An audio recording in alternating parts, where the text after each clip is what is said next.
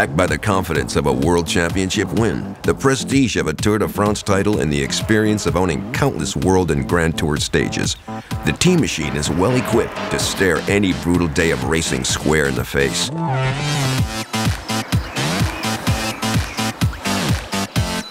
And yet to win is not enough.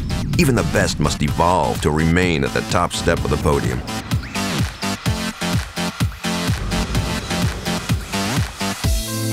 Our mission is to innovate constantly to make the world's winningest bike even better. Now, it's your turn to evolve. You're ready to carry on the winning legacy of the Teammachine.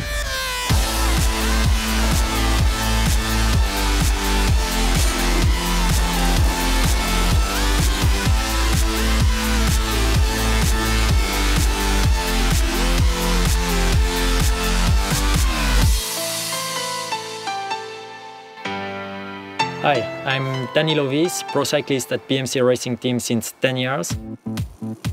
As a pro cyclist, I spend really a lot of time on my bike and it's really my main work tool.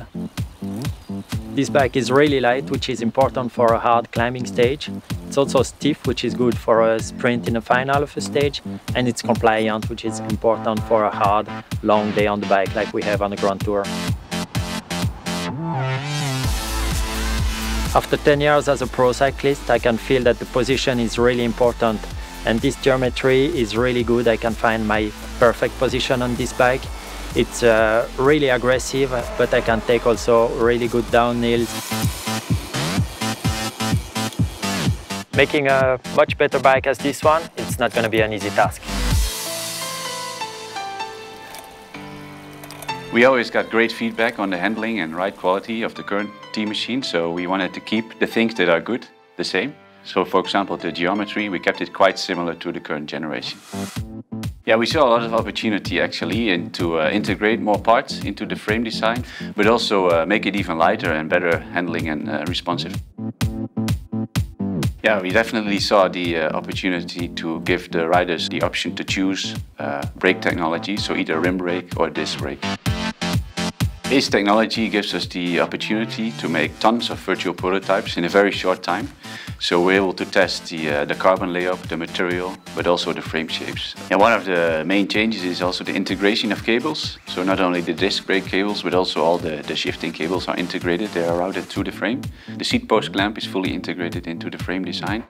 But also we were able to, uh, to make a disc brake frame at the weight target of our previous rim brake design. So we were really able to make one of the lightest disc brake frames on the market.